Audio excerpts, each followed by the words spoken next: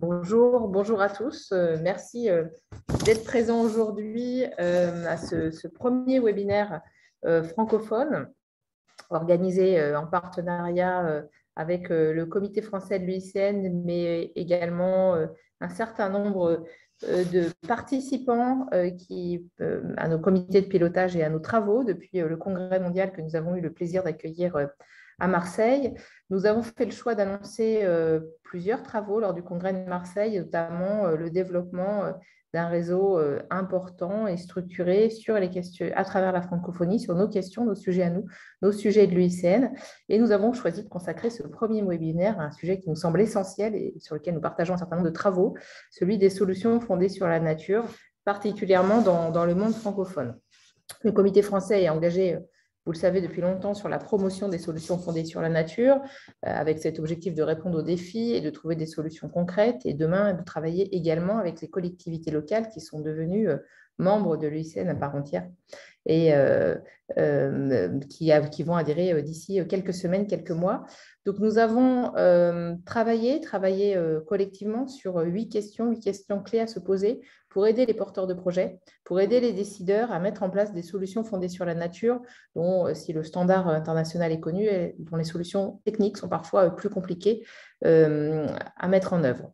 L'objectif de ce matin, c'est de mieux comprendre, mieux s'approprier le standard mondial des solutions fondées sur la nature, déployer des solutions fondées sur la nature dans les territoires à travers des projets, et évaluer l'adéquation des projets euh, que, ces territoires soutiennent avec la définition et les critères de sélection des solutions fondées sur la nature. Pour introduire ce webinaire, nous avons le plaisir d'accueillir euh, Stewart Maginis, qui est le directeur adjoint des programmes de l'UICN, euh, qui suit et qui est le concepteur de ces solutions fondées sur la nature, qui va introduire cette session en anglais, mais nous avons prévu à la fois qu'un document euh, qui est présent euh, d'ores et déjà dans le chat, puisse vous reprendre les éléments d'introduction de Stewart. Et puis, nous serons évidemment l'ensemble du webinaire ensuite en français, comme l'ensemble des réunions. Stewart, thank you so much to be there with us. It's a pleasure to, to have you uh, with us this morning. And uh, the floor is yours. Uh, the transcription in, in the chat now. Okay, thank you very much, uh, Maud, and, and, thank you, Sebastian, for inviting me to, to open this webinar. I'm delighted to be here today with all of you. And I'd, I'd really like to congratulate the French Committee for the French National Committee for your hard work in helping to position IUCN as a lead conservation organisation and advancing, in particular, the work on nature-based solutions. As Maud highlighted, we've been working on nature-based solutions as a union for 15 years. And IUCN has led the conceptual thinking, the definitional framing, the standard setting work around nature-based solutions. This has truly been a one program approach with members, commissions, secretariat, all all contributing and has helped establish the union's global leadership role. The key message I have for you today is that our work however, is not over. In fact, it has only just begun. Um, I think there's a song along those lines somewhere. Uh, we as a union now must capitalize. We must build on what we've delivered already. We must use our unique membership of state government agency, indigenous peoples organizations, subnational jurisdictions, and NGOs, not only to take nature-based solutions to scale, but also to help safeguard its integrity, integrity, make sure it's not misused, and importantly, I believe to maintain the union's leadership on this key issue. We find ourselves at a pivotal point in the global uptake of nature-based solutions. The most globally accepted definition of nature-based solutions is that which you, as IUCN members, adopted in Hawaii in 2016. This has recently been further solidified by the nature-based solutions resolution adopted, uh, adopted at UNEA 5 last month in Nairobi, which uses de facto IUCN's definition with some very small minor additions. Now in the slide, uh, you can see, and it's been highlighted in bold, the wording that's lifted directly from the IUCN definition. But more importantly than that, the, this, this UNEA, um, the, the, the, the, framing of nature-based solutions used in the UNEA um, resolution does not deviate from at all from what IUCN says as nature-based solutions.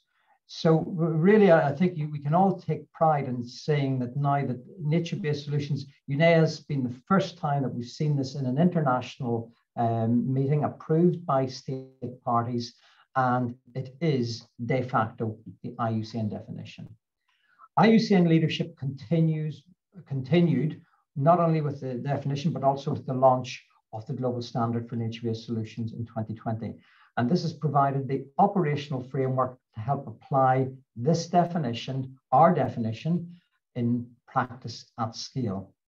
Now, at the minute, we are um, the Secretariat are working with commissions and members to apply the standard to a range of different portfolios, informing, informing and enabling policies and creating bridges to open the wealth of financing that we believe um, could be committed to nature-based solutions. With contributions like that uh, that we've had from the French National Committee, who published further guidance on how to use this standard, we as a union have been able to ensure the buy-in and support from our state members. However, as I mentioned to you, our work is not over. So today, I'm asking you to redouble your efforts to support the mainstreaming of nature-based solutions into policy and further open up access to finance. Last year in Glasgow, we came very close to having nature-based solutions explicitly recognised in the negotiation text. In the end, good progress was made, and for the first time, there was clear recognition of the link between nature and climate. This was a message that you, as IUCN members, highlighted earlier that year in the Marseille Manifesto at the World Conservation Congress. It's important to remember that until COP26, the conventional international narrative was that the biodiversity crisis and the climate crisis were two separate issues. However, recognizing the linkage is one thing, being able to put it into operation is something quite different.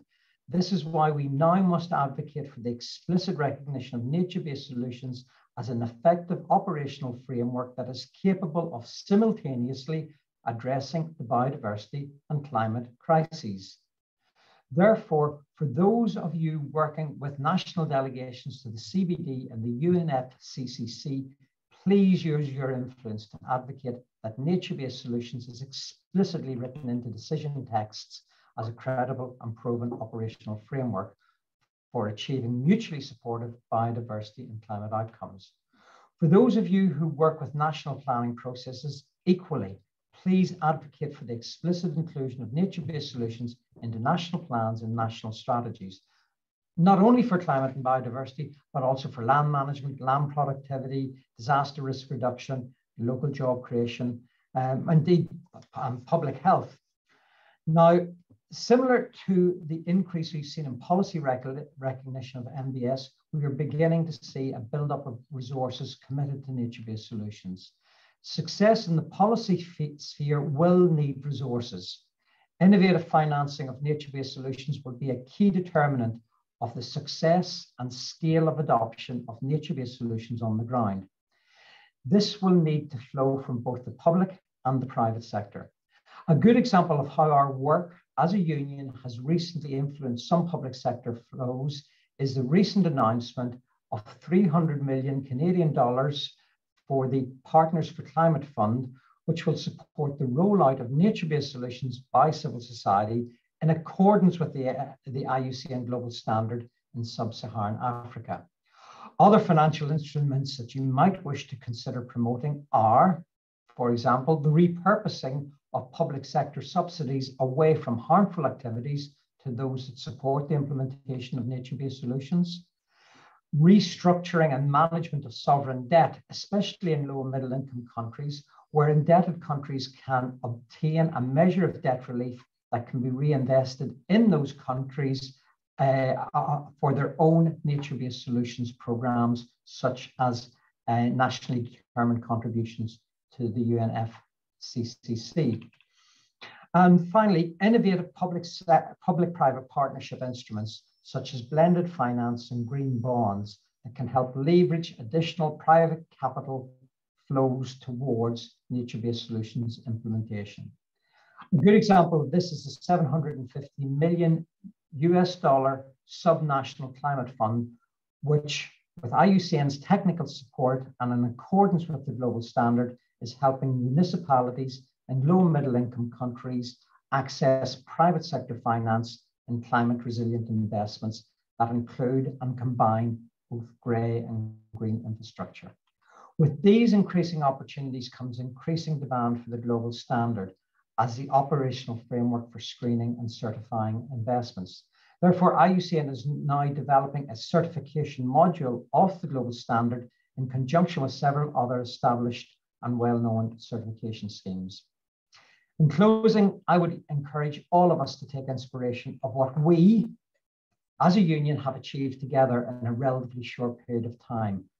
And then we need to take a deep breath and recognize that our work has just begun and that this unique union of ours still has a key leadership role to play in the delivery of nature-based solutions at scale for the benefit of people and planet.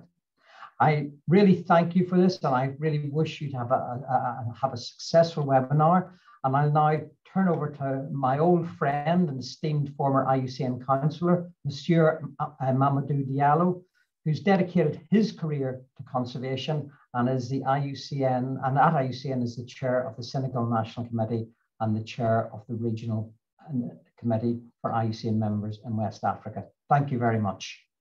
Thank you, thank you very much, uh, Stewart, and uh, merci à tout le monde uh, pour avoir écouté cette introduction en anglais. Euh, effectivement, alors vous pouvez en retrouver les propos qui seront sans doute très intéressants pour recaler, euh, le, pour euh, introduire ce sujet. vous avez la, traduction dans le chat et mille excuses pour, pour, cette partie en anglais pour ce début de webinaire francophone. Le message clé, effectivement, c'est que le travail n'est pas terminé. Les négociations menées par l'UICN, entre autres à Glasgow, étaient très positives, convergeaient vers quasiment euh, l'introduction des solutions fondées sur la nature dans le pacte final de Glasgow et au-delà des accords internationaux, nous croyons euh, euh, collectivement au comité français avec l'ensemble des partenaires des pays francophones à ce levier de financement international des solutions fondées sur la nature qui sera un sujet clé pour l'UICN demain. Thank you so much, uh, Stewart. So we continue in French and, and see you soon.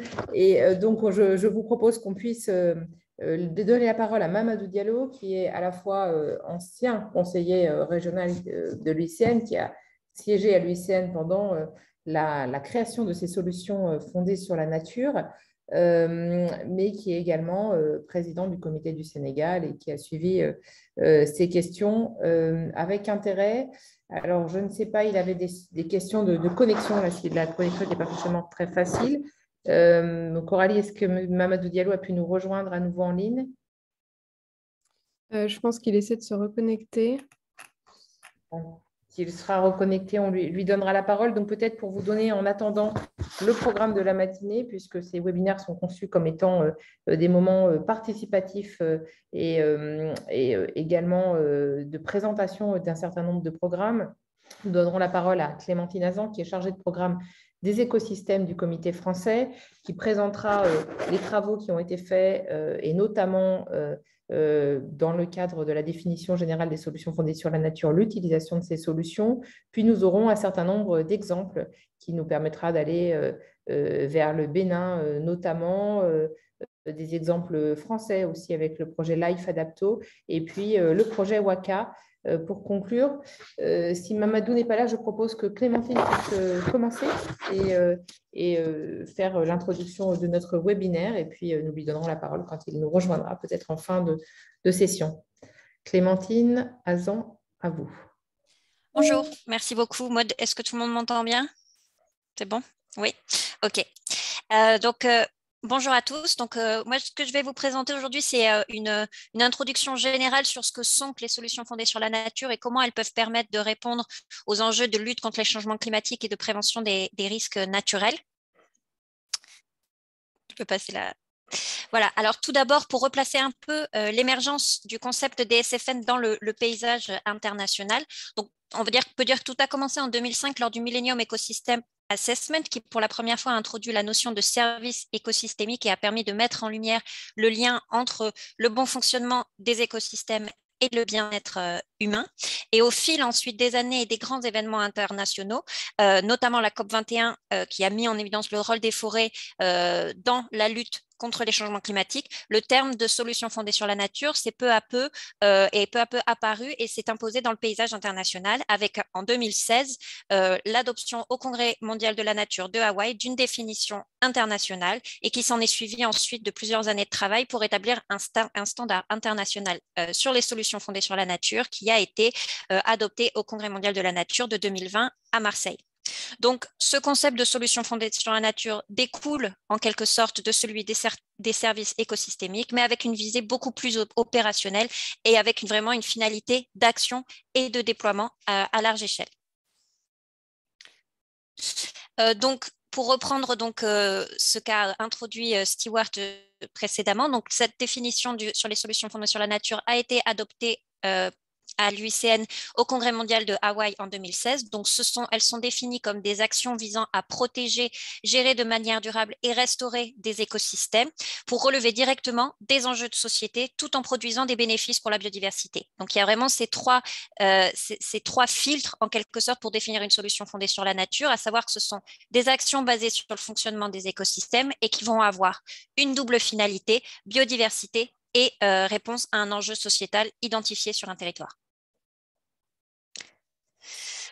Donc, ce sont des actions concrètes de préservation, restauration et gestion durable des écosystèmes. Et les grands défis sociétaux qui ont été identifiés au niveau, international sont l'atténuation et l'adaptation au changement climatique, la réduction des risques naturels, le développement socio-économique durable, la santé humaine, la sécurité alimentaire, la sécurité de l'approvisionnement en eau. Et enfin, un défi qui est un défi majeur et qui est au cœur de chacune des solutions fondées sur la nature, à savoir la dégradation environnementale et la perte de biodiversité.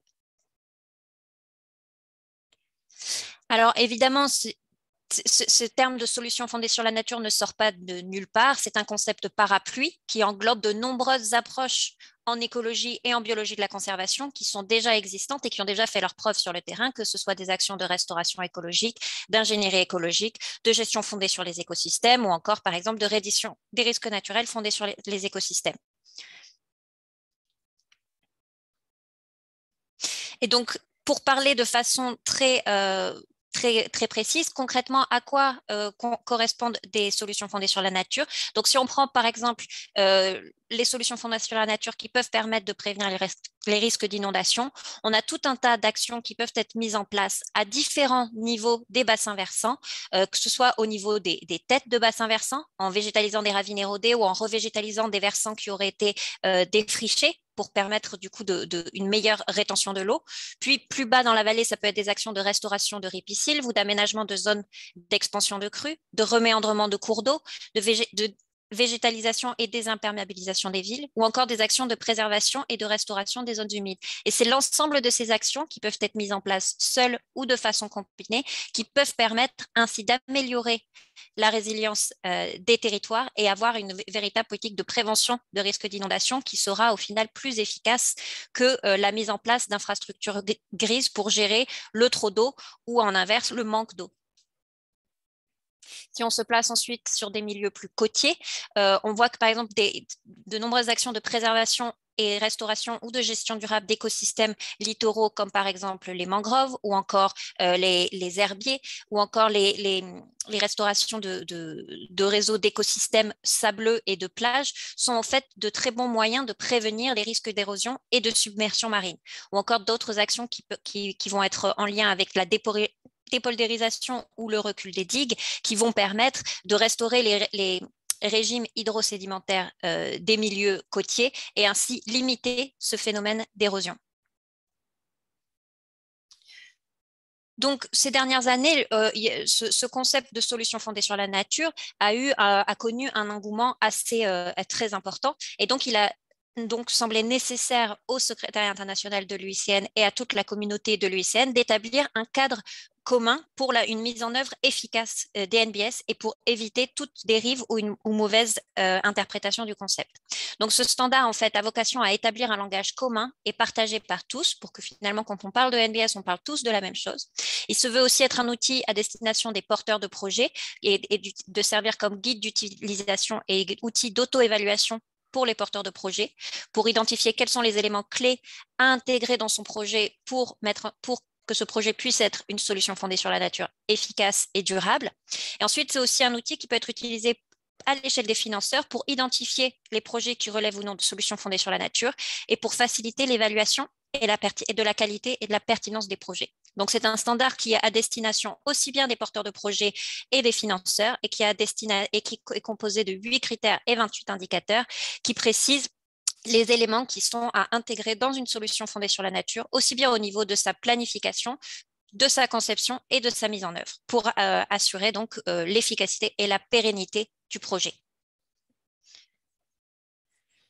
Donc, il est structuré, donc ces huit critères sont évidemment interconnectés, les uns euh, dans les autres.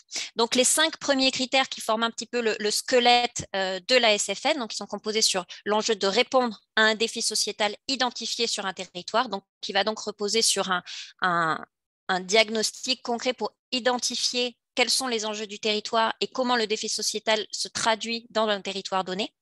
Et ensuite, l'enjeu de dimensionner le, projet à une échelle spatiale pertinente, aussi bien d'un point de vue de, la fonctionnalité euh, des écosystèmes. Il faut se mettre à une échelle qui va être cohérente avec le fonctionnement des écosystèmes qui sont ciblés par le projet de solution fondée sur la nature, mais aussi euh, un projet qui va tenir compte du contexte socio-économique local Ensuite, euh, ce sont euh, évidemment des projets qui recherchent un bénéfice net pour la biodiversité et qui vont se donner les moyens de mesurer ce bénéfice euh, pour, la, biodiversité, le bénéfice que le projet va apporter à la biodiversité. Et ensuite, pour que le projet soit pérenne et durable dans le temps, ce sont des projets qui adoptent une gouvernance inclusive et qui incluent l'ensemble des populations et des acteurs locaux aux différents stades de, de, la conception et de la mise en œuvre du projet. Et ensuite, c'est un projet qui est faisable et viable économiquement. Ensuite, le sixième critère est celui de l'équilibre des compromis et qui englobe finalement les cinq premiers euh, critères. Donc, c'est-à-dire, c'est que voilà, il y a dans la, dans la théorie ces cinq premiers critères qui forment le squelette, mais ensuite, voilà, dans la, de, la SFN, mais dans la vraie ensuite, il y a vraiment un enjeu de trouver des compromis entre ces différents euh, critères pour pouvoir ensuite euh, trouver la solution qui va être la plus acceptable et la plus en adéquation avec le territoire donné. Et ensuite, les deux derniers critères concernent l'adoption d'un mode de gestion adaptatif qui va être basé sur une évaluation régulière des projets et des actions. Et ce mode de gestion adaptatif est particulièrement crucial dans un contexte de changement climatique parce qu'il y a beaucoup d'incertitudes et il faut être en mesure d'adapter son projet aux changements en cours et aux imprévus. Et un dernier aspect qui va être finalement l'intégration du projet dans les politiques euh, locales et euh, à une échelle plus régionale qui va pouvoir permettre en fait de créer un effet d'entraînement et de déployer les solutions fondées sur la nature à une échelle plus importante.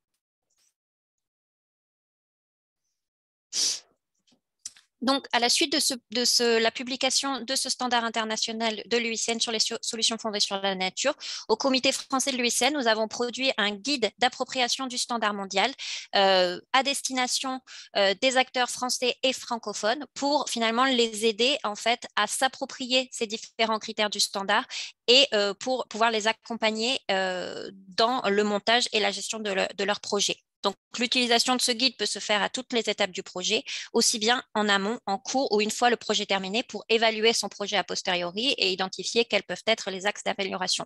Donc, il y a vraiment une visée à destination des acteurs du territoire et pour les aider à prendre en main en fait et à faciliter en fait euh, la, compréhension euh, de ce standard international.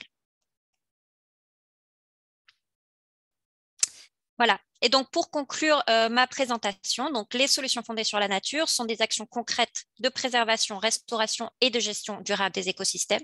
Elles se veulent être des solutions sans regret qui vont relier positivement la nature et l'homme et qui ont pour visée d'augmenter en fait la résilience des territoires et des écosystèmes face aux changements globaux qui menacent nos sociétés à l'heure actuelle. Un argument important aussi, c'est que dans bien des cas, elles peuvent se retrouver être des, alternatives économiquement viables et, durables qui peuvent être moins coûteuses à long terme que des investissements technologiques ou la construction et l'entretien d'infrastructures qui nécessitent notamment des frais dans le long terme d'entretien et de mise et de, de rénovation. Et ensuite, ce sont aussi souvent euh, des, projets qui apportent des bénéfices multiples pour les territoires. Au-delà des deux défis euh, biodiversité ou sociétaux qui sont civiers, il peut y avoir tout un tas d'autres co-bénéfices euh, qui vont y être associés en termes de qualité de vie, de bien-être, de qualité des paysages ou encore de la mise en place d'activités économiques durables. Voilà, donc je laisse la parole ensuite à, aux autres qui vont nous montrer des exemples concrets. Merci Clémentine Azam du comité français. Merci pour cette introduction et on vous rappelle, euh, on vous le postera dans le chat, que le guide d'appropriation qui figure aussi sur le site internet euh, du euh, comité français de l'UICN est à votre disposition et que vous pouvez le diffuser largement euh, euh, pour, faciliter, l'appréhension des solutions fondées sur la nature. Je propose qu'on aille maintenant euh, en Afrique de l'Ouest pour une présentation par Rodrigue Castro Becdomo, directeur de la recherche et de l'apprentissage du Centre d'action pour l'environnement et le développement durable, qui va nous présenter en 10 minutes ses regards croisés, ses travaux de renaturation, notamment de la ville d'Abomey. Voilà, Rodrigue, la parole est à vous. Est-ce que vous avez Merci bien Tout va bien. Merci. Merci à, vous pour 10 minutes. Merci beaucoup, Maud. Bonjour à tous. Ma communication portera sur les solutions fondées sur la nature, une perspective des, des, chercheurs, des praticiens et des politiques en Afrique de l'Ouest. Alors, dans la suite de ma présentation, je vais beaucoup plus utiliser l'acronyme SFN pour aller beaucoup plus vite. Mais d'entrée de jeu, il est important que je précise que je suis moi-même chercheur et qu'au cours de ces 12 dernières années, j'ai collaboré avec euh, les chercheurs, les politiques, les praticiens sur les dimensions humaines de la conservation de la nature. Évidemment, cela ne fait pas de moi un politique, mais euh, cela me prédispose à pouvoir donner euh, mon regard sur leur regard. Alors, dans la suite de ma présentation, je vais d'abord revenir sur le contexte local de la relation entre la nature et l'homme. Ensuite, je vous parlerai de mes appréciations de l'atterrissage de ce concept en Afrique de l'Ouest en termes de perception et d'attente. Et ensuite, je vous présenterai un exemple concret de projet SFN et je vais finir par quelques défis et quelques recommandations. Alors, sur le contexte local euh, ouest-africain de la relation nature-homme, euh, il faut noter cela suivant, il faut noter que culturellement, la relation entre l'homme et la nature dans la région ouest-africaine s'inscrit dans une tradition de continuité entre l'homme et la nature une sorte de symbiose entre la nature et l'homme. On parlera donc de, monisme. Et cela se traduit hein, par nos us, nos coutumes, notre spiritualité, nos croyances. Et ça montre quand même notre lien fort avec la nature. Mais depuis un certain temps, il faut quand même euh, faire remarquer qu'il y a un glissement vers le dualisme, cette conception de la nature qui est caractérisée par l'absence de l'homme. Toutefois, il faut remarquer, il faut garder en tête que c'est le monisme qui est toujours dominant et les interventions, les, interventions comme les SFN, qui sont sensibles à la fois au bien-être humain et au bien-être de la nature, bénéficient donc, disons, d'un contexte culturel qui est, favorable. Premier constat donc à retenir. Le deuxième constat, c'est que les acteurs en présence, que ce soit les scientifiques, les chercheurs, les décideurs politiques, les investisseurs ou même le grand public, tous ces acteurs ont en fait des visions différentes de ce que c'est que la nature. Et ils attribuent différemment de valeur à la nature. Pour certains, la valeur qui est attribuée à la nature, c'est la nature telle qu'elle est, une valeur intrinsèque. Pour d'autres, c'est la nature pour ce qu'elle peut nous offrir, donc une valeur plutôt utilitaire ou instrumentale.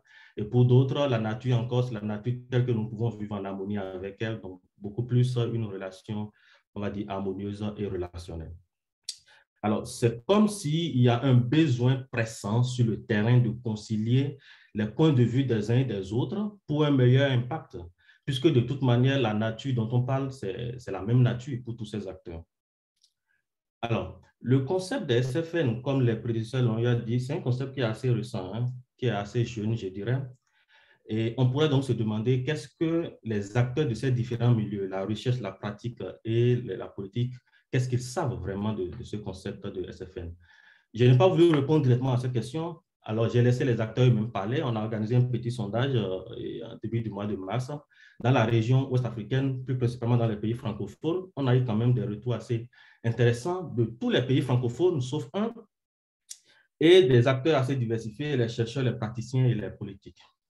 qu'est-ce que le sondage nous, enseigne? D'abord que le concept a une pénétration quand même assez, assez remarquable. Vous voyez, il y a 40% des personnes qui ont été sondées qui ont déjà entendu parler du concept une fois.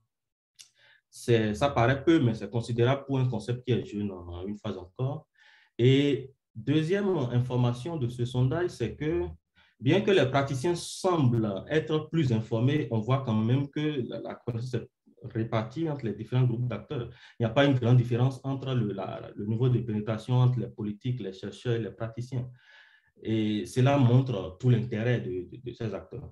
Mais lorsqu'on voit ça, on va demander maintenant, mais qu'est-ce qu'ils savent concrètement de ce concept?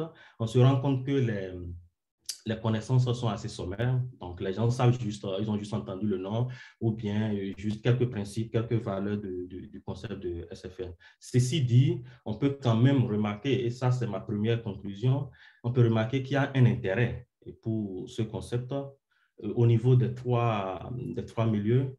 Et d'ailleurs, lorsqu'on leur pose la question suivante de savoir ce qu'ils pensent de ce concept, slide suivant, lorsqu'on leur demande donc ce qu'ils pensent de ce concept, une grande majorité, 74% hein, des, personnes qui ont été sondées, ils pensent que c'est un concept qui est adapté à leurs besoins et à leur réalité.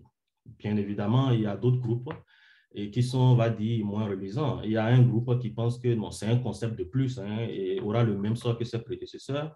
Et puis, il y a un dernier groupe, 7 minoritaires, qui pensent euh, c'est un concept euh, qui n'est pas du tout adapté aux réalités et aux besoins, et à la limite que c'est de la distraction. Disons que ce groupe, je les classe dans les anti les anti-SFN, un mouvement qui est quand même grandissant dans la sous-région et qui bénéficie aussi d'un contexte local, euh, je vais dire, favorable avec le repli identitaire et puis les sentiments anti-occidentaux. Alors, c'est dit ici qu'il y a comme une urgence d'informer et de former sur ce, concept de, SFN pour vraiment éviter les ambiguïtés et pouvoir mettre en avant la, plus-value de, cette approche.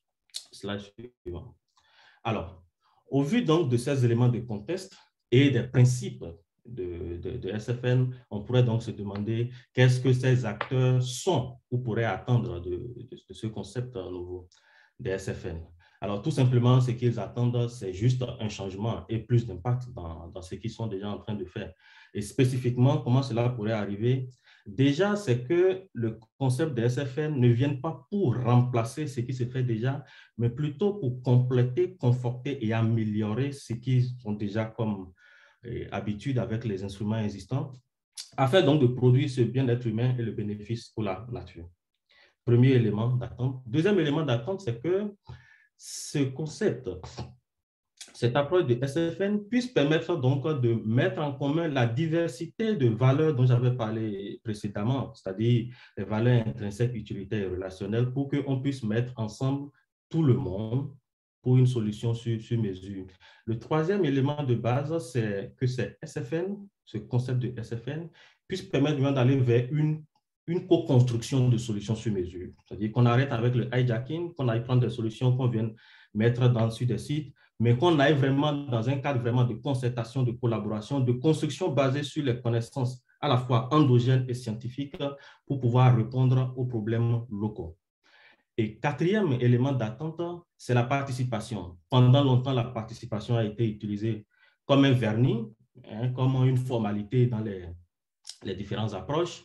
Et cette fois-ci, cet outil SFN pourra permettre de véritablement utiliser la participation pour la participation, pour ce qu'elle est vraiment dans sa valeur, à travers plusieurs mécanismes hein, qui peuvent être mis en, en Et en dernière position, une dernière attente, c'est que ce concept de SFN peut permettre, surtout aux décideurs politiques, hein, de, pouvoir intégrer la complexité des problèmes sociaux par opposition euh, à ce qui s'est fait jusque-là, notamment avec les chercheurs et avec les praticiens qui ont l'habitude de voir les problèmes sous un angle assez précis, alors que les ramifications peuvent être beaucoup plus importantes. La suivante. Alors, je vais à présent vous présenter le, projet SFN, le cas du projet au Bénin. Il s'agit d'un projet de renaturation de la ville d'Abomey-Calavi pour vraiment en faire une ville nourricière et biodiversifiée. Le projet est porté par mon organisation ACED en partenariat avec la ville d'Abomey-Calavi et quelques agences de l'État central et financé par le programme PPI du Comité français de l'UICN avec le soutien de la fondation du groupe EDF. Le projet est parti d'un constat assez simple. Pour ceux qui connaissent le Bénin, la ville d'Abomey-Calavi est une, une ville dortoir en périphérie de la capitale économique du Bénin. Sa population a triplé en 20 ans. Donc, cette folle urbanisation a créé évidemment une recomposition des terres, donc une transformation des espaces naturels et des, terres agricoles en des milieux bâtis. Évidemment, les conséquences n'ont pas tardé. Insécurité alimentaire, perte de la biodiversité, amnésie environnementale, inondation, et j'en passe. Alors, nous avons proposé à la ville de Dagomé-Calavi des solutions assez simples. C'est-à-dire les réserves administratives de terres qui sont pour le moment inexploitées, qui sont non attribuées, peuvent être aménagées en des jardins fermes communautaires pour produire des fruits et des légumes agroécologiques et permettre aussi de maintenir, dans un second temps, les pollinisateurs sauvages. Première action. Deuxième action, d'aménager aussi ces réserves de terres administratives en des espaces verts pour maintenir la biodiversité locale et reconnecter la nature et l'homme. Et en troisième au troisième niveau, appuyer l'arborisation de la ville à travers la mise en place de ce que nous avons appelé le, plan canopé, un véritable outil d'aide à la prise de décision qui permettra, qui va orienter au fait la ville sur où planter, quoi planter et comment le comment planter. Alors, à présent, Slide suivant, je vais essayer de faire passer rapidement notre projet sous la grille des standards de, l'UICN. Je ne vais pas parler de, tous les huit critères, juste quelques-uns. Alors, le premier, vous comprendrez que notre projet SFN répond vraiment à des défis sociétaux. Ici, l'insécurité alimentaire et la perte de la biodiversité, et à bien d'autres. Mais sur le court terme, c'est seulement ces deux et qu'il est dimensionné à une échelle socio-écologique qui est assez appréciable. Il s'agit quand même d'une ville de 4800 hectares et de ce territoire adjacent qui comporte des écosystèmes à la fois terrestres, fluviaux, marins. Et que le projet a l'ambition de pouvoir créer un bénéfice net pour la biodiversité. D'abord, au niveau des jardins fermes communautaires, c'est de pouvoir conserver les pollinisateurs, mais aussi les parents sauvages de sols cultivés. Et au niveau des espaces verts, de pouvoir maintenir de la biodiversité locale et de créer de la connectivité écologique avec les, arbres qui seront, qui seront plantés. Slide suivant. Alors, un point fort de, de, ce projet, c'est un peu l'approche de gouvernance inclusive. Le projet a été pensé, conçu et sera mis en œuvre et en, en concertation et en collaboration avec la ville d'Abomey-Calavi, avec le, la direction départementale du ministère des cadres de vie et de développement durable et quelques autres agences comme l'inspection forestière et les biens nationaux. Et le projet a adopté aussi euh, une gestion, on va dire, adaptative. Actuellement, nous sommes en pour parler avec euh, la ville pour pouvoir identifier les sites qui vont servir à ces, différentes solutions en utilisant des outils, des données probantes, et un outil de sélection de sites. Et pour ce qui est, par exemple, du plan, du plan canopé qui sera développé dans les mois à venir, nous allons nous baser sur des données probantes aussi, des images satellitaires de la géométrie, de la cartographie. Donc, c'est dit que c'est une gestion adaptative où on va, on apprend, on revient, on consolide et puis on avance sereinement. Et pour finir, le dernier critère qui est assez important aussi, c'est la réplicabilité, la durabilité, la réplicabilité de notre initiative. Pour le moment, nous sommes dans une phase pilote. Nous sommes en train de mettre en œuvre ce paquet de solutions à l'échelle de la ville d'Aboum et Calavi et nous espérons pouvoir l'étendre vers le Grand Okwe et pourquoi pas sur les 77 communes du Bénin.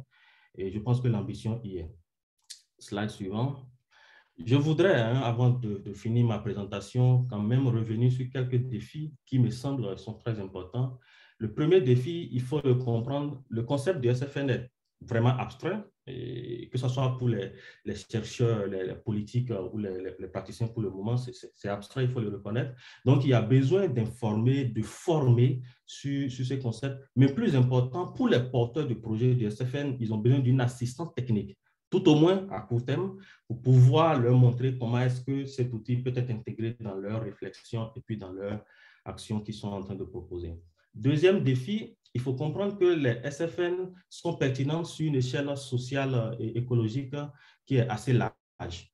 Or, nous avons par exemple nos collectivités locales qui sont coincées dans des espaces géographiques assez bien délimités ou encore des organisations euh, de la société civile qui travaillent sur des espaces assez bien délimités. Donc, il y a une nécessité de pouvoir travailler avec ces gens pour passer par exemple à des échelles plus intéressantes. Pourquoi pas par exemple avec des intercommunalités?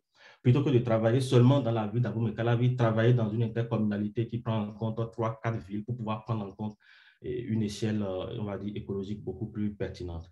Troisième défi, il faut aussi comprendre que les SFN, en fait, doivent s'inscrire dans la durée. Et donc, quand il est dans la durée, il y a le problème derrière de la viabilité économique et il y a nécessité de pouvoir mettre en place des mécanismes de financement.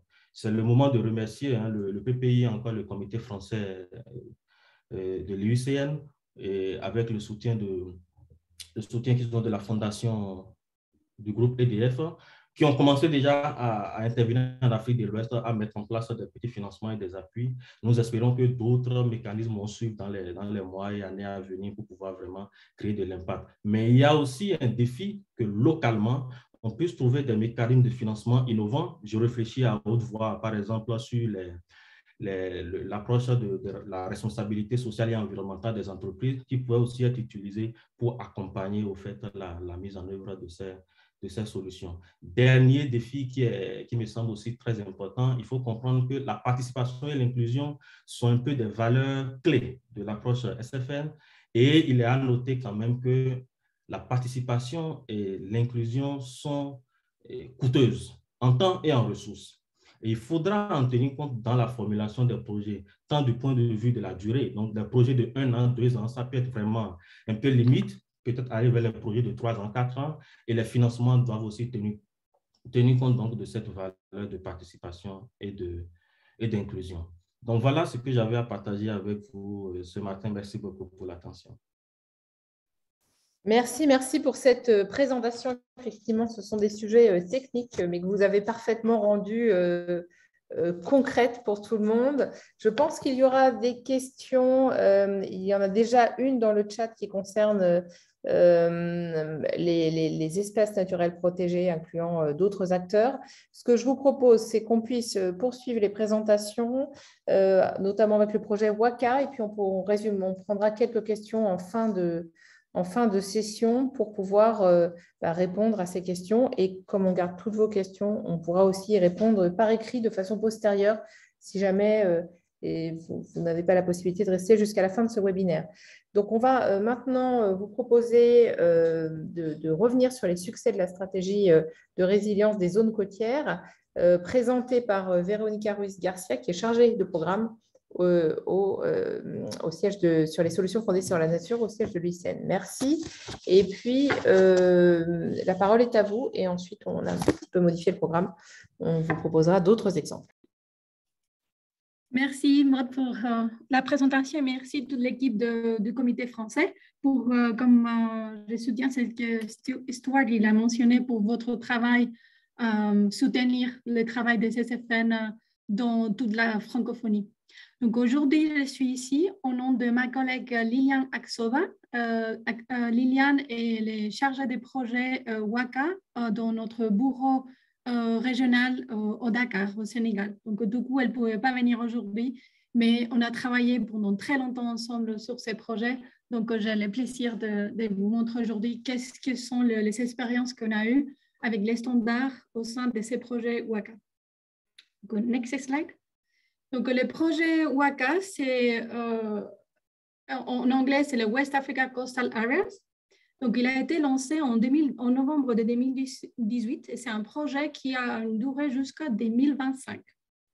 C'est un projet qui a été développé en partenariat avec euh, les acteurs de la zone côtière de l'Ouest africain pour contribuer, contribuer à une meilleure résilience des communautés et des ressources naturelles dont toutes ces communautés en dépendent.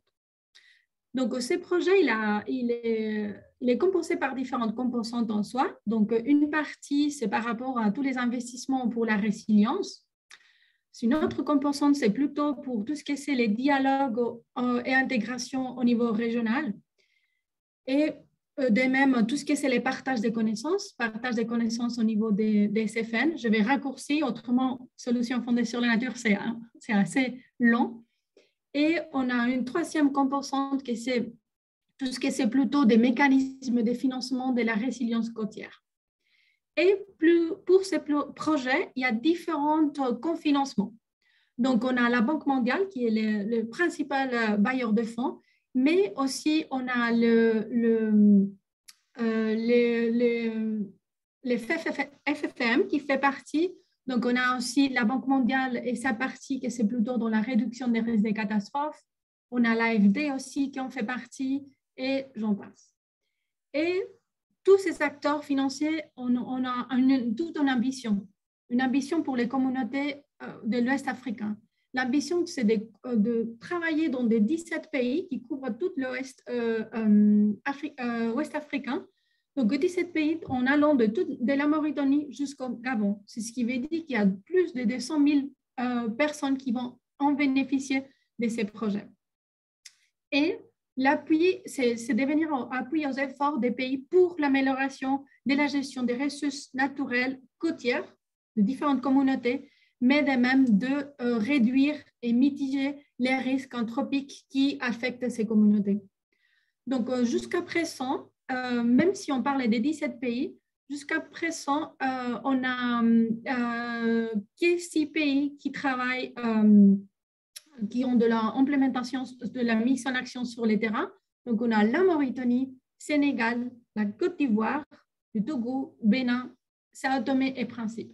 Et prochainement, euh, lors, de, euh, lors de la fin de cette année, début de 2023, on aura aussi la Gambie, la Guinée-Bissau et les Ghana qui vont en profiter des actions euh, sur le terrain de ces projets. Suivante. Ah, bon, vous avez déjà passé. non, vous avez déjà passé aux suivantes. Donc, il y a certains investissements qui se font déjà au niveau de, des CCFN dans, dans ces projets. Donc, on a déjà, comme j'ai mentionné, euh, le Sénégal et la Mauritanie qui travaillent dans tout ce qui est la restauration et la stabilisation des écosystèmes dunaires. D'autre côté, on a la restauration des écosystèmes forestiers à Sao Tomé. Et on a aussi la restauration des écosystèmes deltaïques et des estuaires par le reboisement des berges fluviales et la restauration des mangroves en Côte d'Ivoire, Bénin et au Togo. Et finalement, c'est ce qu'on a au Bénin, c'est de la protection des écosystèmes par la création des aires marins protégées. Suivante. Donc aujourd'hui, la présentation se base sur comment, dans trois cas d'études au sein de ces projets WATCA, comme, ces, euh, ces actions ont été évaluées à travers la grille d'autorelation. Comme Clémentine l'a mentionné, l'UICN a développé les standards mondiaux pour les CSFN. Donc, cet standard est composé tout d'abord par, euh, disons, la, la, narrative des documents, mais ces documents, il vient être appuyé par une grille d'auto-évaluation, comme Rodrigue il a mentionné pour son cas d'étude. Donc, pour les WACA, on s'est focalisé sur trois projets. Donc, les toutes premières, c'est euh, les projets euh, Waka Recip euh, pour la restauration des mangroves dans les complexes lagunaires de Grand Lao. Donc, ici, c'est ce qu'on a fait. On a travaillé sur la réhabilitation et plantation des mangroves dans la zone du projet. Ensuite, on s'est focalisé dans la préservation et restauration d'écosystèmes côtiers de la bouche-point. Ça, c'est aussi c'est la partie Waka qui a été financé par l'FFM. Et ici, c'est ce qu'on a fait, c'est plutôt se focaliser dans tout ce qui est la création des aires marins protégées pour la préservation des écosystèmes riches et qui, en même temps, qui sont fragiles, mais aussi sur la restauration des berges fluviales et des centres des mangroves pour une euh, on utilise une restauration naturelle de, euh, hydraulique des mangroves. Et le troisième euh, disons, exemple qu'on a utilisé pour euh, euh, euh, faire l'évaluation à travers de la grille, c'est la restauration dunaire des larves marins protégés des Saint-Louis au Sénégal. Ici, on a eu un mélange de différentes, actions qu'on a mis en place, comme la, la, mise en place de, de brise-vent. aussi, on a fait du reboisement en même temps, on a fait de la révégétation, mais euh, on a fait aussi un suivi avec des formations, sensibilisation, etc. Suivante slide. Donc, du coup, comme j'ai mentionné, pour ces trois exemples, on a pris les standards, la grille de auto-évaluation pour voir à quel point tous ces projets étaient en, en, accord avec les différents critères et indicateurs qui sont proposés dans les standards. Suivante. Donc, on a fait, ça, c'est ce que vous voyez sur votre écran, c'est euh, le produit final quand on utilise cette grille. Qu'est-ce que ça veut dire? Donc, quand euh, euh, l'outil d'auto-évaluation nous montre à quel point chacun des critères qui sont proposés par les standards de l'UICN, donc vous voyez ici les huit critères, à quel niveau ces critères ils sont en adhérence avec les standards? Mais comme euh, Clémentine l'a mentionné, les standards, c'est un cadre facilitatif. Ça veut dire que si vous voyez ici, on a quatre catégories d'adhérence. Si un de vos critères il n'est pas en adhérence avec les standards, ça ne veut pas dire que vous faites un mauvais travail. Ça veut dire qu'ici, on va venir à l'aide pour euh, identifier quels sont euh, les points de votre projet dont vous pensez que c'est une FCFN qui a des faiblesses ou qui a des, lacunes encore? Donc, ceci, ça va vous permettre de voir comment renforcer votre projet. Donc, du coup, il ne faut pas prendre comme négatif si vous avez des résultats insuffisants, mais vous, devez les voir comme euh, euh, une, voie de progrès parce que vous allez avoir des recommandations comment améliorer vos projets. Donc, du coup, ces trois euh, différentes actions, on a travaillé avec des équipes de travail de manière volontaire. On a travaillé avec eux pendant trois mois pour faire la compilation de tous les documents nécessaires pour répondre aux différentes questions qui sont intégrées dans l'outil, dans la grille d'autorelation pour à la fin venir avec ces résultats. Les, résultats qu'on vous montre ici, c'est par rapport au travail au Sénégal. Donc au Sénégal, comme vous voyez, c'est tout à fait une SFN. Par contre, si dans ces résultats que vous voyez ici, il y aurait eu des critères qui apparaissent comme partiels insuffisants, ça aurait été les cadres pour continuer à travailler d'une manière à voir qu'est-ce qu'elles sont nos lacunes, comment est-ce qu'on peut travailler et comment est-ce qu'on peut continuer vers l'avant.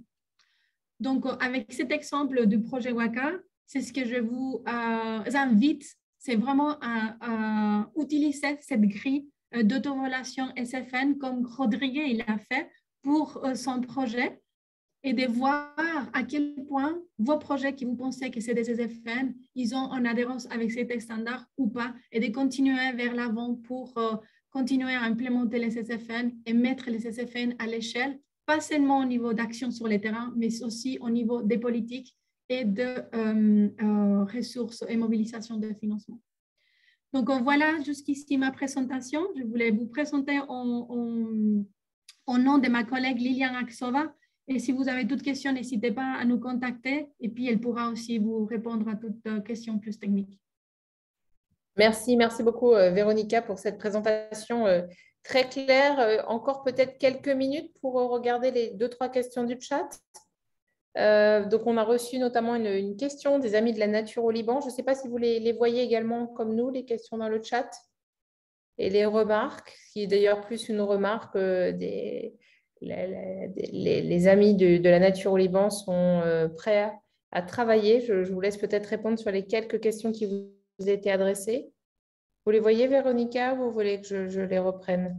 Oui, je peux voir un qui était répondu par rapport à Laurent Tatin, mais c'est Sébastien qui a déjà répondu. Les autres, c'est... Voilà, c'est plus une, envie, une envie de collaborer. Je crois qu'on a, comme vous voyez, on a beaucoup de participants aujourd'hui. C'est vraiment le message qu'il faudra retransmettre à toute l'équipe et toutes les, équipes euh, du siège pour qu'on puisse euh, effectivement euh, collectivement avancer sur ces solutions.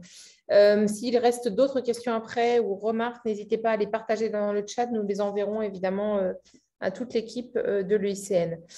Je vous propose qu'on passe maintenant sur la présentation du projet LIFE Adapto avec Pauline Bouzard, présentation qui s'affiche à l'écran, qui est chargée du projet Adapto Méditerranée au Conservatoire du Littoral.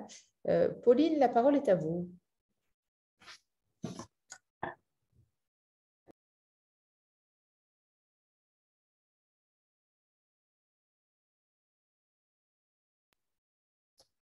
Pauline, est-ce que vous nous entendez?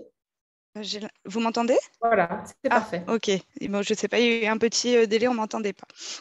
Euh, bonjour à tous. Donc, euh, euh, moi, je suis Pauline Bouza. Je travaille pour le Conservatoire du Littoral sur le projet Life Adapto. Et je vais vous présenter un exemple concret de solution fondée sur la nature pour limiter l'érosion et le recul du trait de côte sur un des sites pilotes du projet Life Adapto, le site des Vieux Salins d'hier. Donc, pour euh, vous faire un petit point sur le Conservatoire du littoral, euh, nous, la gestion des risques d'érosion et de submersion, ce n'est pas vraiment euh, dans nos compétences, mais c'est évidemment un thème essentiel à aborder quand on parle d'aménagement des territoires littoraux. Et notre stratégie vis-à-vis du changement climatique, c'est de s'appuyer sur les milieux littoraux naturels en mettant en place ce qu'on appelle une gestion souple ou une gestion douce du trait de côte. Donc concrètement, qu'est-ce que c'est qu'une gestion euh, souple ou douce euh, du trait de côte? C'est une alternative à la fixation du trait de côte avec des ouvrages en dur tels qu'on les construit depuis les années 60. Euh, cette alternative s'appuie sur les dynamiques et les milieux naturels et est donc adaptative. L'idée, c'est ici de valoriser le rôle des milieux naturels d'interface entre la terre et la mer, qui vont pouvoir jouer un rôle en fait de zone tampon face aux aléas d'érosion et de submersion, euh, et ainsi protéger les enjeux qui sont situés en arrière. On favorise donc les mouvements euh, du trait de côte et on accompagne les changements d'usage et d'habitat.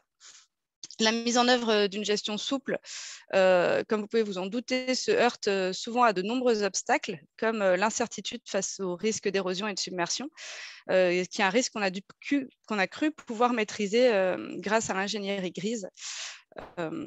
Donc, euh, il faut en fait repenser complètement les modes de gestion de ces risques. Euh, il faut une vraie rupture dans ces modes de gestion, euh, ce qui n'est pas évident de faire accepter par les acteurs locaux, comme vous le savez sûrement. donc, c'est dans ce contexte-là que le Conservatoire du littoral et le BRGM euh, ont lancé le projet Life Adapto en 2018. Euh, la volonté de ce projet, c'est vraiment de faire la preuve par l'exemple de l'intérêt et de la faisabilité d'une gestion souple du trait de côte comme stratégie d'adaptation des territoires littoraux au changement climatique. Donc, on travaille sur 10 sites pilotes euh, répartis un peu partout sur le territoire français. on peut passer à la slide suivante. La particularité du projet euh, Adapto, euh, c'est qu'on a une approche systémique pour répondre aux nombreux obstacles, comme je vous l'ai dit, que rencontre la mise en œuvre des euh, solutions fondées sur la nature. on aborde ces questions sous l'angle des risques, du paysage, de l'économie, de la perception sociale, de la biodiversité et aussi sous un angle pédagogique. Donc en fait, on essaie de mettre en relation ces différentes disciplines sans que l'une prévale sur l'autre, et enfin voilà, on essaie de, faire en sorte que toutes ces disciplines soient, euh, intégrées dans le projet. Euh, donc pour illustrer tout ça, je vais vous, euh, parler maintenant d'un exemple concret et des travaux qu'on a fait sur le site des Vieux Salins d'hier. Donc le site des Vieux Salins d'hier, c'est un site qui est situé, non on peut rester sur la slide d'avant, c'est un site qui est situé à l'est de Toulon, sur le littoral méditerranéen. Euh, c'est des salins qui ont été en activité jusqu'en 1995, euh, qui abritent un patrimoine ornithologique assez exceptionnel. Euh, aujourd'hui, la, gestion, hydraulique des salins est encore artificielle, justement pour préserver ce patrimoine ornithologique, puisque le niveau d'eau est géré pour favoriser la nidification des espèces et la diversité des milieux. Le problème de ce site euh, a commencé avec la construction d'ouvrages portuaires dans les années 50 à l'est du site, euh, ce qui a constitué en fait un point dur sur le littoral et qui a déséquilibré complètement les, dynamiques de transport de sédiments, ce qui a créé une cellule d'érosion sur le site des salins. Et ça a obligé les saliniers à enrocher une grosse partie du littoral pour se protéger. Lorsque le Conservatoire du littoral a acquis ce site autour des années 2000, euh, bien sûr, plus question d'artificialiser. On peut passer à la slide suivante. Euh, donc, il a fallu trouver, euh, parce qu'on avait toujours ce problème d'érosion, donc il a fallu trouver euh, de nouvelles solutions et, une nouvelle stratégie de gestion du trait de côte pour répondre au phénomène d'érosion. Euh, d'autant plus que euh, les modélisations euh, qu'on a, qu'on a fait ont mis en, en, évidence un risque de brèche dans le cordon dunaire au droit du canal d'alimentation du Salin, et ce dès 2025. donc ce risque de, brèche risquait de mettre en mal tout le fonctionnement hydraulique du, du, Salin, mais aussi risquait d'inonder un village à proximité. Donc, au lieu d'attendre de subir ce phénomène, le Conservatoire du littoral et son gestionnaire euh, ont pris les devants et on a choisi l'adaptation. Donc, on a lancé euh, une large opération de renaturation du cordon dunaire pour restaurer justement les dynamiques sédimentaires et les dynamiques naturelles et redonner sa mobilité au littoral. Donc concrètement, on peut passer à la slide d'après. Euh, donc concrètement, euh, ce qu'on a fait en premier, c'est qu'on a enlevé tout l'enrochement, euh, une grosse partie en tout cas de l'enrochement qui avait été mis en place. L'objectif est ici de rendre sa liberté au trait de côte pour restaurer les dynamiques sédimentaires naturelles. et on a rapidement vu que l'opération a été un, vrai succès, puisque sur le secteur où on, des, on a des enrochés, évidemment, lorsqu'on a des enrochés, on a eu un recul du trait de côte, mais grâce aux dynamiques sédimentaires qui se sont remis en place, euh, le, trait de côte s'est réavancé et est euh, désormais à la position de l'ouvrage. Donc, on n'a pas perdu, euh, on n'a pas eu de recul de trait de côte à cet endroit-là suite au désenrochement. La deuxième phase des travaux, ça a été la réhabilitation du cordon dunaire, notamment sur le secteur qui était très érodé. Euh, effectivement, les dunes constituaient un rempart naturel contre les intrusions marines, donc il était important de restaurer ce cordon dunaire. Euh, et on a là encore pu euh, voir les bénéfices des travaux assez rapidement, puisque dès la fin du désenrochement, on a eu une grosse tempête sur ce site. Et grâce à la renaturation et à la reprise des dynamiques sédimentaires, le cordon dunaire a pu rouler en arrière et euh, sans céder face aux vagues et donc sans intrusion marine. On a donc un résultat très positif. Le littoral à cet endroit est en meilleur état que ce qu'il était et on observe qu'il tient désormais mieux face à la mer. Pour conclure, je vous montre cette petite étude effectuée par le BRGM du suivi du trait de côte, où on voit clairement qu'on a une tendance à l'accumulation de sédiments sur cet endroit qui était une grosse cellule d'érosion. Euh, et qui était l'endroit qui était menacé d'intrusion marine. Euh, donc on voit euh, que grâce aux travaux, cet endroit est en accrétion, que la cellule d'érosion se comble petit à petit, et ce, malgré, comme je le disais, la tempête qu'on a eue fin 2019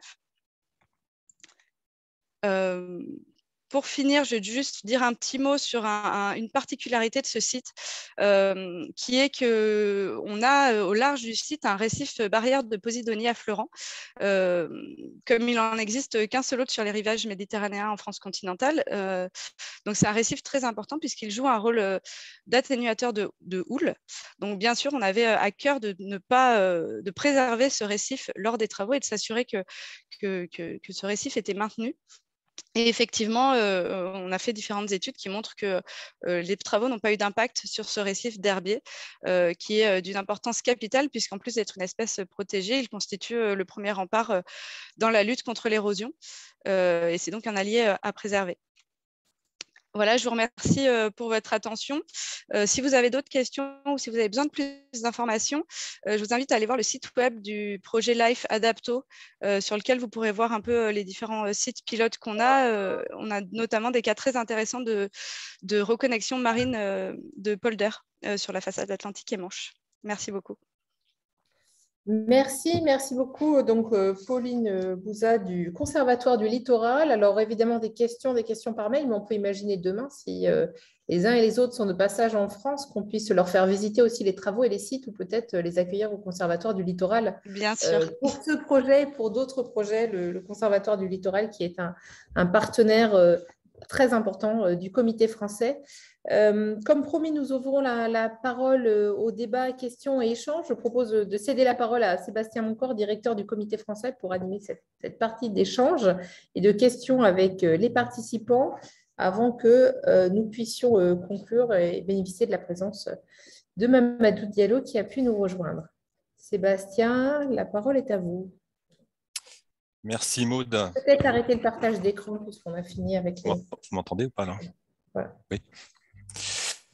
Merci Maud. J'ai répondu déjà à quelques questions, notamment une sur les espaces naturels protégés, pour savoir dans quelle mesure est-ce qu'ils pouvaient constituer des solutions fondées sur la nature.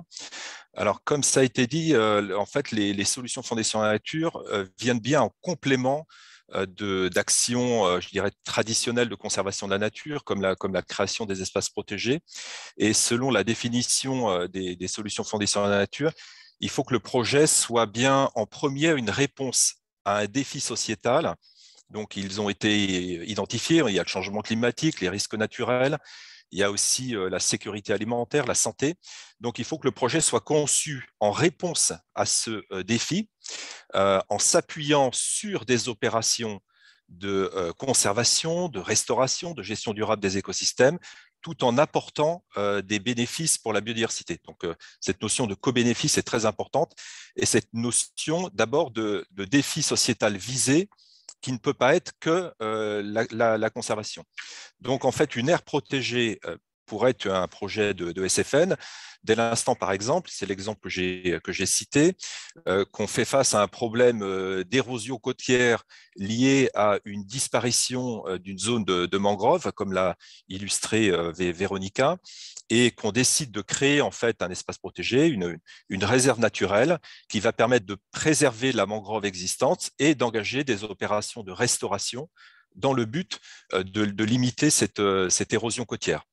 voilà.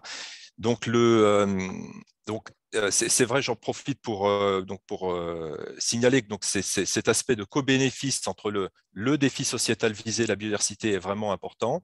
Et comme l'a illustré aussi Rodrigue, on parle beaucoup depuis la définition, depuis le, concept forgé par l'UICN sur les solutions fondées sur la nature, du, du lien changement climatique et risque naturel, mais qu'il y a bien d'autres défis euh, qui peuvent être visés par les, des projets de solutions fondées sur la nature. Donc, il a parlé, par exemple, dans son exemple au Bénin, de la sécurité alimentaire. Voilà, il y a aussi l'approvisionnement en eau, euh, la santé ou le, développement euh, socio-économique. Voilà, je regarde s'il y a d'autres. alors, j'ai répondu aussi sur une base de données sur les projets SFN.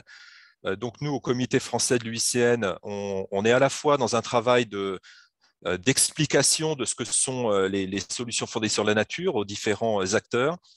Et on a adopté une stratégie aussi de preuve par l'exemple, donc c'est-à-dire que nous publions régulièrement des recueils de projets de solutions fondées sur la nature qu'on identifie sur le territoire français et qui permettent de, montrer de façon concrète et opérationnelle ce que sont ces, ces SFN. Au niveau méditerranéen, le centre de coopération euh, de l'UCED qui est basée à Malaga euh, le fait aussi. Et au niveau international, euh, Véronica et son équipe publient aussi des exemples dans les différentes publications de l'UCN qui sont librement accessibles sur les sites web. Voilà, et on espère effectivement, nous, on, complète ces, exemples. là, on a publié un, recueil complet sur des projets qui répondent aux risques liés à l'eau, principalement les inondations, mais aussi les sécheresses. Et là, on va prochainement publier euh, sur des projets de solutions fondées sur la nature en réponse à l'érosion côtière et à la submersion marine. Et euh, la nouveauté de cette année, c'est que euh, on va, commencer à traiter un autre défi qui va être celui de la sécurité alimentaire. Donc, il traitera principalement des projets de solutions fondées sur la nature qu'on peut mettre en place dans les milieux agricoles je regarde Coralie pour savoir si j'ai répondu globalement un peu aux questions. Peut-être que certains panélistes parmi nous veulent, euh, veulent compléter. Clémentine? il y avait une, une, question qui était dans la discussion et je pense qu'il y a un, aspect important à, à discuter. C'était donc de euh, Bastien Alex du WWF France. je ne sais pas si c'est Alex Bastien ou Bastien Alex, excusez-moi. Euh, comment assure-t-on la viabilité SF, des, financière des projets SFN au-delà des périodes de financement? Comment, euh, quels sont, et justement, donc, euh, et la question était un peu euh, dirigée vers Rodrigue pour avoir son, avis sur, cette, sur, cette, sur cet aspect-là. Ok, ok, bien sûr. J'avais lu aussi la question de M. Alès. Alors, c'est clair que à l'échelle du projet, pour le moment, avec ce que nous avons, nous avons utilisé les fonds pour démarrer tout le package de solutions fondées sur la nature qui a commencé. Mais la question, c'est qu'est-ce qui va se passer après, à la fin du projet et après. Alors déjà, vous allez remarquer qu'il y a trois grandes composantes. La première composante de jardin ferme communautaire doit pouvoir s'autonomiser très rapidement. C'est-à-dire ils ont besoin quand même d'assez de, fonds pour pouvoir installer les premiers équipements, les lancer, mais à partir de la campagne suivante, ils doivent pouvoir s'autonomiser. Nous n'avons pas d'inquiétude à ce niveau. Par contre, c'est au niveau du suivi, de l'aménagement et de l'entretien des espaces verts, de la plantation et de l'entretien de, de, corridors pour connecter les habitats qui peut avoir un défi de financement à, à moyen et à long terme. Et à ce niveau, nous en avons aussi discuté avec la ville c'était aussi un point d'inquiétude. Pour nous, c'était un problème de durabilité. Et on a compris quand même qu'il y a des réflexions en cours et qu'il y a des initiatives qui peuvent bien, on va dire, euh, prendre en compte tout ça. Déjà, il y a par exemple euh, un financement local qui est, qui est disponible pour la foresterie urbaine et pour lesquels les communes, les villes n'arrivent pas encore à s'organiser pour pouvoir capter parce qu'ils ne savent pas comment s'y prendre. La foresterie urbaine étant vraiment du, domaine des, collectivités locales. Donc, il y a ce fonds qui est disponible. Mais en dehors de ça, il y a d'autres possibilités de, financement. Hein. Notre mandat au niveau de la ce n'est pas de devenir gestionnaire du patrimoine de la ville, mais c'est de pouvoir accompagner la ville à pouvoir intégrer ces solutions dans son système de gestion avec les financements qu'ils ont déjà à leur disposition. Juste pour finir sur cette question, euh, pour ceux qui ont l'habitude du Bénin, vous allez voir qu'il y a des espèces vertes qui ont commencé à fleurir un peu dans les villes, au niveau des ronds-points, ainsi de suite, mais qui sont au fait aménagées et gérées par les sociétés privées. Donc, c'est un peu comme un contrat entre ces sociétés et la mairie pour au fait gérer et aménager ces espaces verts, évidemment avec la condition que ces sociétés peuvent mettre leur logo, peuvent communiquer au niveau de ces sites. Ce sont là quelques possibilités de, de, financement. Je reconnais que c'est très sensible la durabilité, notamment par rapport à la viabilité économique des SFN, et ça fait partie de l'un des défis que j'avais soulevé plus tôt et qui nécessite vraiment des réflexions approfondies pour trouver des mécanismes au niveau local.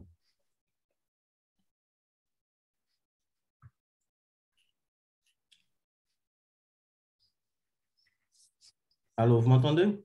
Oui. Oui. Je pense qu'il euh, y avait une, un deuxième volet de la question qui, qui était adressé à Véronica, si je ne m'abuse pas.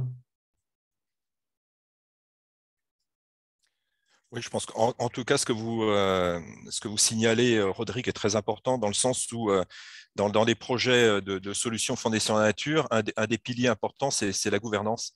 Et donc, l'association et l'appropriation par les acteurs locaux qui est, qui effectivement euh, gage de, pérennité après du, projet, d'un instant qu'il est, il est bien approprié, que les gens sont associés euh, vraiment à la mise en œuvre et qu'ils qui, voient les résultats et les bénéfices. Alors après, on a toujours cette difficulté, mais je dirais c'est un peu euh, difficulté un peu générale dans le monde de la conservation, c'est les, les cycles de financement de projets qui sont souvent un peu courts, alors qu'on a besoin d'installer euh, des projets de, de, restauration de la, de la, biodiversité dans la, dans la durée avant d'en voir euh, les bénéfices. Et euh, l'autre aspect important que, que vous mentionnez, c'est que vraiment les solutions fondées sur la nature sont un, outil important d'intégration de, de, la biodiversité dans d'autres politiques sectorielles. C'est-à-dire qu'on a parlé, on parle depuis des années et des années notamment au sein de la Convention sur la diversité biologique, de ce que les anglo-saxons appellent le fameux mainstreaming de la biodiversité, c'est vraiment l'intégration de la biodiversité dans, dans, des politiques euh, agricoles, de pêche, euh, euh, de, de, de, planification territoriale, etc. Et que les solutions sur la nature, c'est vraiment, ça. C'est-à-dire que il faut vraiment intégrer des projets de biodiversité dans les politiques de la ville, dans les politiques agricoles, dans les politiques du tourisme, dans les politiques de la santé, et que euh, euh, ce soit euh, approprié aussi à, ce niveau-là et avec, et avec les financements nécessaires de, de ces politiques-là. Euh, merci Sébastien. Je pense que c'est une bonne transition peut-être pour donner la parole à Mamadou Diallo. Mamadou Diallo qui a été euh, conseiller euh, régional international de, de l'UICN pendant, cette période où ont été créées des solutions fondées sur la nature, qui nous fait le plaisir d'être là ce matin malgré sa présence en parallèle au forum, un forum important qui se tient aujourd'hui au Sénégal. Mamadou, peut-être quelques mots sur cette question de participation et de gouvernance qui ont été au cœur des, débats et des échanges à l'époque.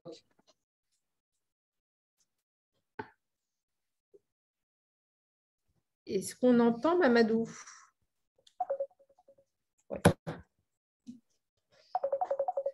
Allô? Tu es, connecté? Oui. Alors, on va le passer en haut-parleur. Je pense que ça devrait fonctionner. Vas-y, la parole est à toi. À tous les participants. Bonjour Maud, bonjour à tous les participants. Euh, c'est avec beaucoup de plaisir que je participe euh, à ce webinaire sur les solutions fondées sur la nature. Euh, comme vous le savez, j'ai eu quelques ennuis au niveau de, la technique et je n'ai pas pu suivre l'intégralité puisque je n'avais pas les leçons. j'ai noté une très bonne participation à travers le monde. Euh, à un mois donné, j'ai noté 110 participants, c'est vraiment extraordinaire. Euh, parler euh, des solutions fondées sur la nature, pour moi, c'est donner en tout cas beaucoup de crédit au travail de, de l'UICN parce que le concept a été élaboré par l'UICN, dont je je suis très fier, euh, ayant été conseiller régional de Guyane de, 2012 à 2021. Euh, donc, euh, durant ces années, ce concept a été élaboré et aujourd'hui est devenu un label, une solution qui mérite vraiment d'être vulgarisée à, travers le monde faire face aux nombreux défis dont le monde est aujourd'hui confronté. J'ai écouté, euh, pas disons écouté, mais j'ai suivi euh, certains exposés à travers les slides. Euh, je salue tous les participants. je remercie également les organisateurs, Maud et son équipe, les panélistes, le secrétariat à travers Steve Matis et euh, d'autres qui ont participé et, tous les participants vraiment. Euh, j'ai compris que le, concept de solution fondée sur la nature est, aujourd'hui euh, approprié par l'ensemble des experts qui évoluent dans le domaine de l'environnement. Il reste maintenant à le vulgariser et à le faire porter par toutes les parties euh, prenantes. Euh, j'ai écouté aussi euh, certains intervenants tels que Rodrigue Castro, si, si, je ne m'abuse, Véronica, Pauline et, également mon ami Sébastien, Sébastien Moncor, que je salue au passage. Euh, il faudrait, euh, de, mon point de vue, comme on, ne cesse de le dire, euh, qu'il y ait un recensement, sinon un état des lieux des solutions fondées sur la nature qui sont aujourd'hui reconnues à travers le monde. il faudrait également, pour ce faire, impliquer la communauté scientifique, les chercheurs, qui doivent aussi s'approcher euh, des euh, savoirs traditionnels, euh, les bonnes pratiques, tout cela pour faire un inventaire des solutions qui sont pertinentes, des solutions fondées sur la nature qui sont pertinentes afin qu'elles puissent être mises en œuvre. La mise en œuvre, donc, suppose, un, l'état des connaissances, deuxièmement, une sensibilisation euh, sur le bien fondé et la pertinence des solutions fondées sur la nature, qui sont, de mon point de vue, moins coûteuses que les solutions euh, euh, qui sont basées sur des infrastructures dites grises et, qui sont non pas seulement à écarter, mais qui peuvent être combinées avec les solutions fondées sur la nature. Euh, toutes les parties prenantes doivent euh, être impliquées. Pour cela, il faudrait vraiment que il y ait une bonne sensibilisation, une information, communication à l'attention de toutes les parties prenantes. D'abord les, les populations qui sont les bénéficiaires, mais également les organisations de défense de, l'environnement, les décideurs politiques, le secteur privé qui doit être également impliqué, ainsi que tous ceux qui ont intérêt à ce que ces solutions fondées sur la nature soient mises en œuvre au, bénéfice de, notre humanité. Il faudrait également des partenariats, des partenariats intersectoriels. C'est nécessaire parce que ces solutions sont transversales, elles concernent plusieurs secteurs d'activité. Elle participe au développement durable, elle participe à la lutte contre euh, euh, euh, la pauvreté, la famine, elle participe à la lutte contre le, changement climatique. Donc, il faudrait que tous les secteurs qui sont intéressés puissent être impliqués, d'où les partenariats intersectoriels. La coopération internationale, elle également, il faut faire appel à elle parce que euh, les savoirs euh, ne connaissent pas également de frontières.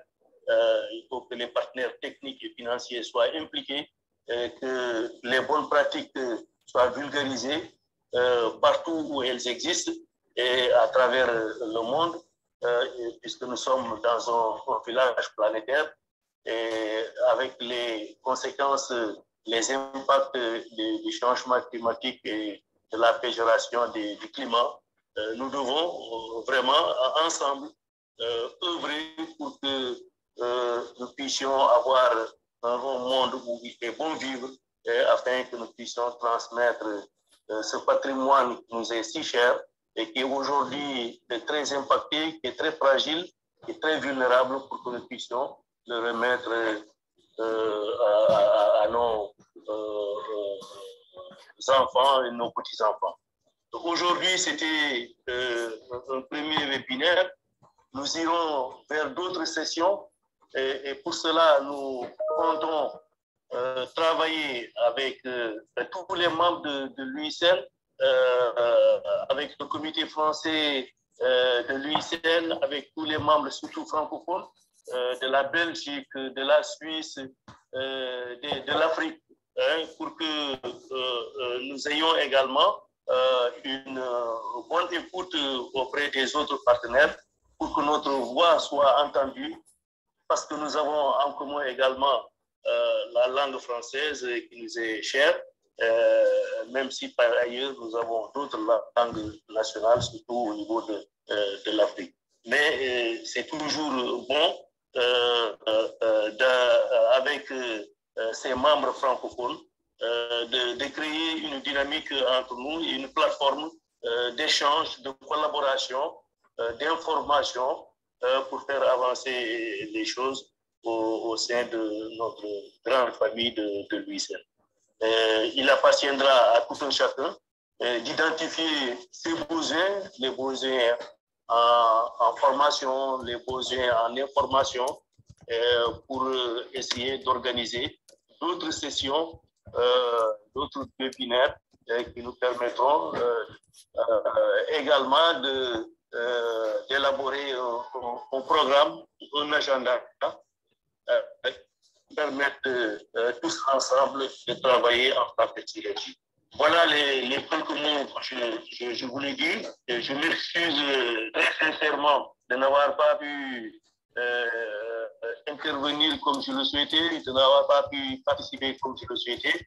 La technologie m'a fait faux bon, contrairement à hier. Hier, vraiment, on a fait une bonne réunion euh, en Zoom, mais aujourd'hui, vraiment, la technologie m'a fait faux bon. Et je remercie tout le monde. Euh, je crois savoir que les exposés des différents panélistes étaient de haute facture C'était très clair et, nous allons tous en bénéficier. Et compte tenu du fait que le tout sera mis à disposition des participants pour que nous, nous puissions à tête reposée nous imprégner de tout ce qui a été dit, je pense que là également, pour, pour ma part, je pourrais me, me rattraper. Et voilà. Merci. Après quoi, je vous dis merci. Je dois euh, aller à un autre euh, rendez-vous. Je suis au, forum du, du, PRCM, c'est le partenariat régional euh, pour la conservation marine et côtière. un forum qui réunit près de 500 personnes. Et on a démarré depuis, hier. Et je vous remercie très sincèrement. Merci bien. Merci, merci Mamadou Diallo. Euh, ce sera, ce sera les mots de la fin parce que nous arrivons déjà au terme de ce webinaire. Euh, merci d'avoir été présent et surtout merci d'avoir porté euh, comme ambassadeur de l'UICN au Forum mondial de l'eau les solutions, tous les exemples réussis euh, à la fois euh, dans le réseau francophone, mais, mais bien au-delà. Donc, merci euh, pour ces mots pleins de sagesse. comme indiqué par Mamadou, mais également comme discuté au, sein des, travaux que, nous menons collectivement, il y aura d'autres webinaires sur d'autres sujets. le concept étant participatif, nous vous proposons avec le directeur Sébastien Moncor et, les participants de nos travaux francophones de, revenir vers nous, de nous faire des propositions de sujets, de sujets d'intérêt pour que ce, webinaire, euh, euh, dont, cela aurait été aujourd'hui le, premier exemple, euh, puisse se poursuivre tout au long de l'année, des prochains mois. merci. Vous pouvez retrouver l'ensemble de cette session sur la chaîne YouTube, comme indiqué au début de cette session. Et puis, nous avons à votre disposition les travaux, notamment le guide euh, que l'on peut peut-être afficher à l'écran, euh, Coralie, le guide, euh, voilà, Sébastien là, peut-être, le guide des solutions fondées sur la nature et des huit clés présenté par Sébastien Moncor. On pourra l'envoyer à l'ensemble des panélistes qui le souhaitent également. Sébastien, le mot de la fin. Oui, merci beaucoup Maud. Bah, je crois que c'est une, une réussite pour ce premier webinaire francophone qu'on a, a souhaité lancer. Euh, on avait choisi ce thème extrêmement important des solutions fondées sur la nature parce que c'est vrai qu'on en parle beaucoup et c'est l'UICN qui est à l'origine du, concept. Euh, on espère, et Stewart Maginis l'a dit, qu'on a, on a déjà une vraie appropriation, on voit un vrai, un vrai succès. On voit surtout qu'au-delà du concept, c'est vraiment une réalité qui prend corps sur le terrain à travers des vrais projets démonstratifs qui apportent des bénéfices. Donc nous, on veut à la fois euh, continuer avec vous à montrer que les solutions fondées sur la nature sont des projets euh, qui, qui, marchent, des vrais projets de territoire qui associent les acteurs locaux, qui apportent des bénéfices pour la biodiversité, qui portent ce message que la nature est une solution pour répondre euh, au changement climatique, aux risques naturels, à l'amélioration de la santé, à, euh, la sécurité alimentaire, aux défis de l'approvisionnement en eau, tout en préservant la, nature. Euh, on est évidemment très, euh, très soucieux, il a été fait notre, beaucoup référence au standard mondial de l'UICN. On est aussi dans une phase où justement le, le, concept est, beaucoup regardé, donc une phase euh, d'exemplarité qui est, qui est, attendue de notre part. Donc c'est pour ça qu'il y a ce standard mondial qui permet vraiment de mettre les projets euh, sur des bons rails pour qu'on puisse les développer. Et euh, comme l'a appelé aussi euh, Stewart, et c'est ce que je voulais faire aussi en, message d'appel pour ce, pour ce séminaire, c'est qu'on a chacun un rôle à jouer euh, d'ambassadeur des solutions fondées sur la nature euh, dans nos pays, à la fois pour continuer à, placer et défendre l'intérêt des solutions fondées sur la nature dans les accords internationaux. Stewart a dit que dans le pacte de Glasgow à la COP26, on y était presque et sur le nom exact de solutions fondées sur la nature, mais qu'on a vraiment progressé sur euh, la reconnaissance du rôle de la nature euh, dans les, changements climatiques. On a aussi une prochaine étape qui se profile avec la COP15 et l'adoption de la stratégie mondiale pour la biodiversité.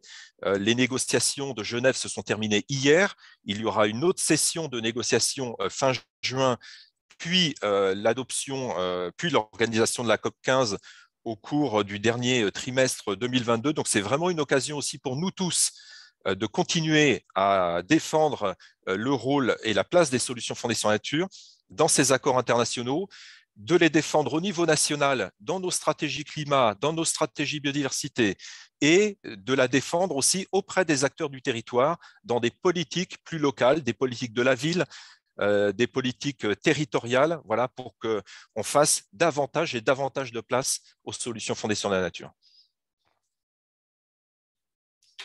Voilà, merci à tous. Merci à tous, au revoir et au prochain exemple de webinaire euh, d'ici quelques semaines. Au revoir.